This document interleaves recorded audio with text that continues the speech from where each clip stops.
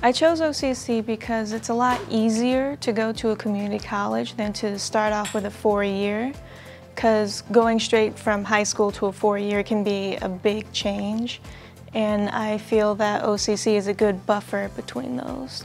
What I like about the CIS program here is, is that the classes aren't very big and a lot of the teachers take their time with their students and give them the resources and uh, lessons needed to practice and hone their skills. I haven't really had any problems with anything such as the technology or the computers that they use or the software. They do a really good job at keeping everything up to date and you know as clean and maintained as possible. So there's a lot to go through with CIS and there's a lot about computers you can study.